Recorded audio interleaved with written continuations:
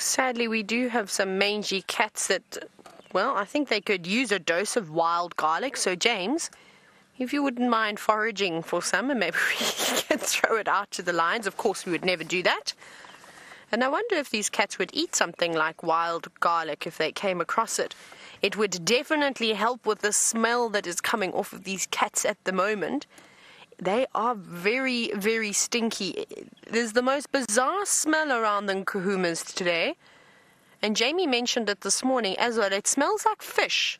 I don't know if it's the carcass that smells like that or what on earth has happened here, but it is not very pleasant, unfortunately. But you can see that the Nkuhumas are fast asleep, as they would be on a hot, sunny summer's day. But they don't look too hot. There's not a, a huge amount of panting going on. And I suppose that's also because even though their bellies are full, they're not as distended as they were a couple of days ago. So I'm sure that that buffalo carcass must be almost done but uh, I, I, don't even know if they've pulled it out of the drainage line. It was very, very difficult to try and, of course, have a look at it because yesterday, not yesterday, the day before, uh, they'd dragged it right into a very hard area to have a look at, but I don't think that there's too much left. Now, there's three adult lionesses here, and all the cubs are laying about in between them. So I suspect that the youngest lioness in Amber Eyes and Mr. Informal are just off into the distance somewhere, probably lying just a little bit away. And we see that quite often with Amber Eyes and the youngest lioness. They, they seem to enjoy each other's company quite a bit, even though they love the rest of the lionesses and they all have strong bonds between each other. It's like you always have a favorite. They probably just maybe have a better connection uh, than the others. Maybe the, the common denominator with the two of them is that they don't have cubs and the other three lionesses, the ones we're looking at, of course, have had lots of little cubs, but fast asleep. I reckon that lioness is probably going to move as her head is now in the sun.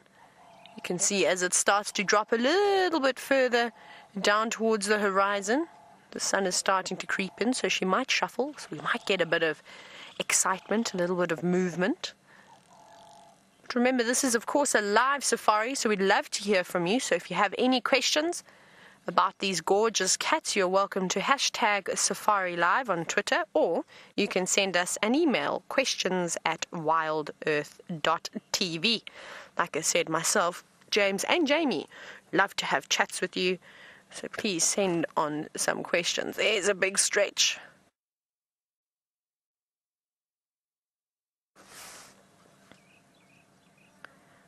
Oh, I'm just fiddling with my game drive comms, so I make sure I'm not missing out on anything. There's a lot of chattering going on today, and hopefully this means that there's something exciting out and about. There we go, a couple of the cubs rolling around, turning themselves over now.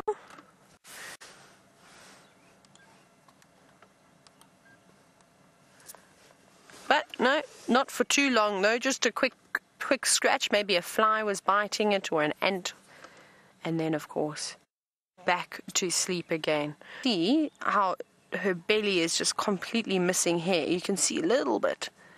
And I'm, I'm very concerned about her because it doesn't seem to be getting better just yet. And I, I just hope that she is going to be able to overcome this. She is a fighter, as you've all said before, and, and we've witnessed it. She is indeed a fighter, but look how tattered her ears are. But not so tattered that her ear still flops. She's sort of lost that now.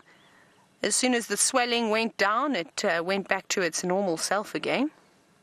And I thought that was quite a cute feature that she had. And it's and it's again when identifying different animals, that's a unique feature that that little lioness has, and it's something that you would have been able to identify her by. But fast asleep, just twitching their ears, and that seems to be all that's going on out here this afternoon with Nkuhumas. Any of the other lions, oh, there we go. He can see her belly. So then they, of course, that's that's of course the the negative side of the what, what the Birminghams have done, how they have split up now. They don't have the strength in numbers, but that hair is completely gone. There are a couple of ticks you can see on her belly, And she should be able to groom herself, so I wonder if she's just not feeling tired and weak. That can't be very nice. She looks so itchy. Oh, I'm so sorry, my girl. Let's just keep our fingers crossed that the rain will help her immunity push through. Like we said, it's not the first time she's pushed through something. She's definitely a fighter. Oh, look at her little tail as well.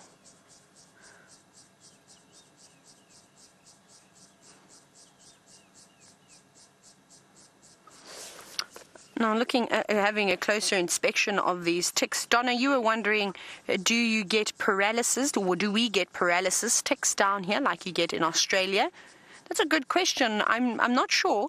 Uh, one of the main uh, diseases that are brought about here by ticks, um, and particularly by the bont tick, is um, um, not. I was going to say bilharzia for a second, but it's not bilharzia. I was talking about bilharzia the other day. Sorry about that. Biliary or tick bite fever and that is caused by the ticks, and that can attack their liver, which is not good. It makes you feel exceptionally lethargic. But I don't know if it causes paralysis. When we get it as humans, it's horrendous. You get a migraine, you, you feel a bit dizzy, so you almost get vertigo, you're nauseous, and you just feel absolutely exhausted. It feels like you haven't slept in about six weeks, and your energy is just completely drained from your body. But I don't know what the animals would feel. I don't know if they get similar symptoms. Uh, it, it's obviously it's very difficult to try and because you can't just ask a lion, "Do you have a headache?" You know, or do are your paws sore? You know, we don't know any of these things. Everything we we know about animals is all just speculation, and we just sort of try and put theories together. But the being out here in the wild is just incredible and you learn this after you've been doing it for long enough, is that anything that all the books, various books say, you'll there'll be a situation at one point where you come across an animal doing something completely different to what everybody else has said in the past. And that's it. You've just got to learn for yourself. Take every experience and remember it or take a note and form your own opinions.